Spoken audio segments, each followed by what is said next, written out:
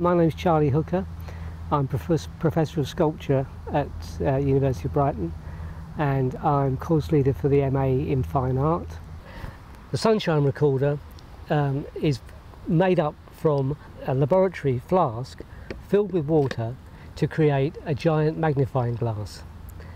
This magnifying glass focuses the sun's rays onto a print which is contained below it and the print is contained within a, a metal frame which fixes to the overall structure of the sunshine recorder which is a big wooden frame on a tripod and this um, will then capture the sun's rays to burn an arc each day.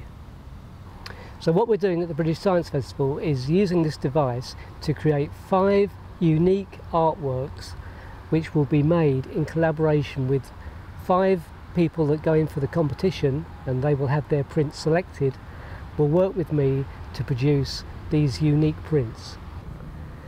So don't forget to come to the British Science Festival this year and visit me with my Sunshine Recorder machine where we can work together to produce a beautiful golden arced print produced through your artwork and my machine.